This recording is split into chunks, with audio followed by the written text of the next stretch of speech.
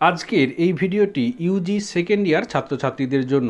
Yuji second year ছাত্রছাত্রী, অর্থাৎ আপনারা যারা ইউজি ফার্স্ট ইয়ারে মানে পরীক্ষা দিয়েছেন, পরীক্ষা দেওয়ার পরে আপনারা রেজাল্ট পেয়ে গিয়েছেন ইউনিভার্সিটির অফিসিয়াল ওয়েবসাইট থেকে প্রফেশনালভাবে এইবার এইখানে একটা খুব স্বাভাবিকভাবে প্রশ্ন চলে আসে যে, এই রেজাল্ট আমি তো অনলাইনে দেখে নিলাম। এরপর আমি হার্ড কপি কবে পাবো? এবং এটা যেহেতু ফার্স্ট ইয়ারের রেজাল্ট সেক্ষেত্রে এই হার্ড কপি আমাকে কি স্টাডি সেন্টার থেকে নিতে হবে? আমি যদি স্টাডি সেন্টার থেকে না নেই, তাহলে আমার কী ক্ষতি হতে পারে? কারণ আমি তো এটা আমার তিন বছরের কোর্স সেক্ষেত্রে আমি তিন বছরের পরে একেবারে ফাইনাল যে রেজাল্ট সেটা পাবো এবং তার হার্ড কপি সেই মার্কশিট সার্টিফিকেট আমি যদি সেটা নিয়ে নিই, তাহলেই তো আমার হয়ে যাবে। এইভাবে ফার্স্ট ইয়ারের রেজাল্ট সেকেন্ড ইয়ারের রেজাল্ট এইভাবে আলাদা আলাদা নেওয়ার কি খুব দরকার আছে? এই রকম একটা চিন্তা ভাবনা অনেক ছাত্রছাত্রীদের মধ্যে থাকে। তো এটা নিয়েই আজকের ভিডিওতে বলব। প্রথমে যেটা জানাব সেটা হচ্ছে, এই যে আপনারা তো প্রত্যেকেই আপনাদের রেজাল্ট সেটা পেয়ে গিয়েছেন, দেখে নিয়েছেন এবং রেজাল্ট তো প্রত্যেকের কম বেশি খুব ভালো হয়েছে এবং আমাদের থেকে যারা গাইড নিয়েছিল তারা তো মানে চূড়ান্ত রেজাল্ট করেছে। নাইনটি ফাইভ থেকে হান্ড্রেড পারসেন্ট নাম্বার পেয়েছে আমাদের ছাত্রছাত্রীরা। মানে বেশিরভাগ ছাত্রছাত্রী আমাদের নাইনটি এইট পারসেন্ট নাম্বার পেয়েছে। সেটা অন্য কোনো ভিডিওতে দেখিয়ে দেবো, যদিও এর আগের ভিডিওতে আমি দেখিয়েছি। তো এটা কথা প্রসঙ্গে বললাম। এবার এই যে রেজাল্ট এখানে আপনাদের অনেকের একটা ধারণা থাকে যে এই রেজাল্টের হার্ড কপি আমি স্টাডি সেন্টার থেকে নেব না। কারণ এটা যেহেতু একটা ফার্স্ট ইয়ারের রেজাল্ট তাই এটা আমার বিশেষ প্রয়োজন হবে না, লাগবে না। এইখানেই আমি আপনাদের বলব যে অবশ্যই আপনি আপনার স্টাডি সেন্টারে যাবেন। স্টাডি সেন্টারে গিয়ে রেজাল্টের যে হার্ড কপি ফার্স্ট ইয়ারের যে রেজাল্ট তার যে হার্ড কপি সেটা কিন্তু আপনারা প্রত্যেকেই কালেক্ট করবেন। এবারে যেহেতু একটা কালেকশানের ব্যাপার আছে, তাহলে কবে যাবেন স্টাডি সেন্টারে কতদিন পরে যাবেন? দেখুন, আপনাদের রেজাল্ট পাবলিশড হয়ে গিয়েছে, আপনারা আর সাত দিন মানে এক সপ্তাহ, দুই সপ্তাহ ওয়েট করুন। তারপরে আপনাদের কিন্তু স্টাডি সেন্টারে হার্ড কপি চলে আসবে। আপনারা কিন্তু স্টাডি সেন্টার থেকে আপনাদের যে হার্ড কপি সেটা কিন্তু সংগ্রহ করতে পারবেন। এইবারে আপনাদের যে ধারণা, যে এটা তো ফার্স্ট ইয়ারের রেজাল্ট এটা হার্ড কপি আমি যদি না নিই, আমার কি ক্ষতি হতে পারে? অনেক অনেক জায়গা থাকে যেখানে কিন্তু শুধুমাত্র গ্র্যাজুয়েশনের যে ফাইনাল রেজাল্ট যে মার্কশিট সার্টিফিকেট সেটা দেখা হয়।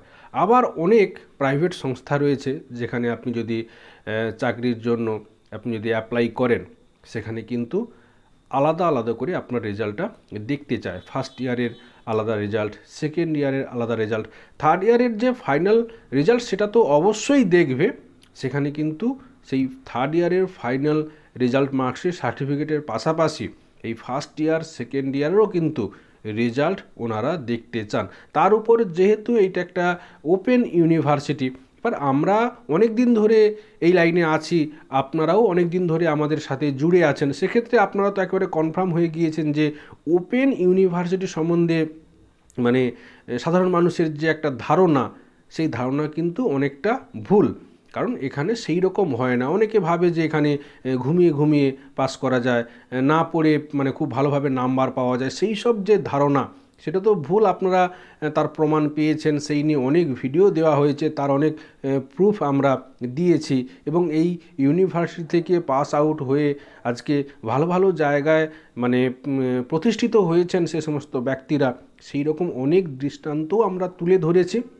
তো আপনাদের নিয়ে তো কোনো চিন্তা নেই, কিন্তু যারা জানেন না এই নেতাজি সুভাষ ওপেন ইউনিভার্সিটি সম্বন্ধে, ওনাদের একটা ধারণা থাকতেই পারে যে ওপেন ইউনিভার্সিটি এখানে কীরকম নিয়ম কানুন থাকে বা এখানে কীভাবে ছাত্রছাত্রীরা পড়াশোনা করে, এইরকম একটা ধারণা অনেকের মধ্যেই থাকে।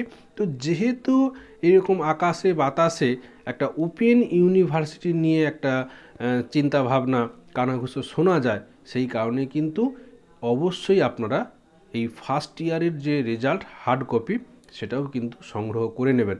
আপনি পরে চাইলে আপনার স্টাডি সেন্টারে খুঁজবে, কোথায় গুছিয়ে রাখবে কি না যদি না থাকে, সেক্ষেত্রে আবার আপনি ইউনিভার্সিটিতে অ্যাপ্লাই করবেন। সেক্ষেত্রে অনেক কাঠখড় আপনাকে পোড়াতে হবে। সেটা না করে একটু কষ্ট করে দু পা হেঁটে আপনি স্টাডি সেন্টারে যাবেন। স্টাডি সেন্টারে গিয়ে আপনার প্রত্যেক বছরের কিন্তু এই যে রেজাল্টের হার্ড কপি আপনারা সংগ্রহ করবেন। আমি বলছি অনেক জায়গায় থাকে, দেখুন সরকারি কাজ, সরকারি চাকরি আপনি পাবেন কি পাবেন না সেটা আপনি বাদ দিন। কিন্তু বিভিন্ন জায়গা অনেক সরকারি ক্ষেত্রেও কিন্তু এই প্রত্যেকটা ইয়ারের আলাদা আলাদা রেজাল্ট আলাদা আলাদা মার্কশিট ওনারা কিন্তু দেখতে চান। তাছাড়া আপনি নেবেন না কেন? আমি ধরে নিলাম কোনো কাজে লাগবে না।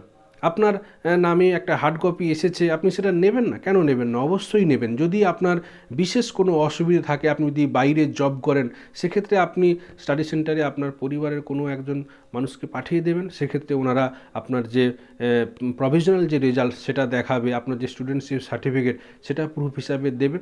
উনি যে আপনার বাড়ির লোক, সেটা প্রুফ হিসেবে দিলেই স্টাডি সেন্টার নিশ্চয়ই শুনবে। অনেক স্টাডি সেন্টার শুনতে চায় না, সেক্ষেত্রে পরিবারের লোকজন যিনি যাবেন, আপনার বাবা, মা, ভাই, বোন, যিনি যাবেন, তিনি বলবেন যে, আপনি এখন এই স্টেটে নেই, আপনি বাইরে আছেন, আপনি অন্য জায়গায় থাকেন, আপনার পক্ষে আসা সম্ভব নয়, আপনার পক্ষে এসে রেজাল্ট কালেক্ট করা সম্ভব নয়। সেক্ষেত্রে নিশ্চয়ই মানে রিকোয়েস্ট করলে স্টাডি সেন্টার শুনবে এবং আপনারা যেভাবেই হোক আপনাদের যে রেজাল্টের যে হার্ড কপি সেটা কিন্তু অবশ্যই সংগ্রহ করবেন এবং এটা গুছিয়ে রাখবেন। তাহলে আজকে এই ভিডিওতে যেটা আপনাদের গুরুত্বপূর্ণভাবে জানানো হলো, সেটা হচ্ছে আপনারা এই সবেমাত্র অনলাইনে আপনাদের রেজাল্টটা দেখেছেন, আপনারা আর দুটো সপ্তাহ, একটা সপ্তাহ, দুটো সপ্তাহ ওয়েট করুন, তারপরে স্টাডি সেন্টারে যান। স্টাডি সেন্টারে গিয়ে আপনারা কিন্তু প্রত্যেকেই আপনাদের যে রেজাল্টের হার্ড কপি সেটা কিন্তু অবশ্যই সংগ্রহ করবেন। আজকে এখানেই শেষ করছি। আপনারা প্রত্যেকে ভালো থাকুন, সুস্থ থাকুন। আপনাদের প্রত্যেকের সুস্থতা কামনা করি। ধন্যবাদ।